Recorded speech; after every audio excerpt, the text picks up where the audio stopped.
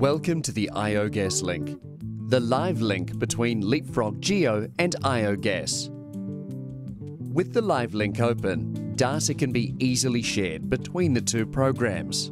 For instance, send drill hole assay data to IOGAS to process, and when completed, send it back to create a new lithology in Leapfrog Geo. The IOGAS Attribute Manager can attribute geochemical data points using colour, shape and size symbology to represent up to three different variables.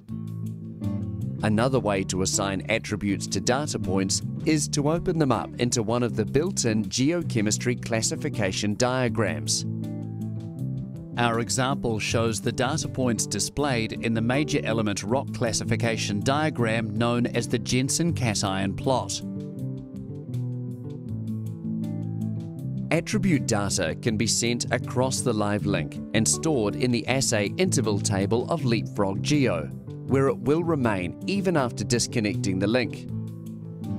The new interval column is added to the Leapfrog scene, where it can be compared to any existing lithology columns.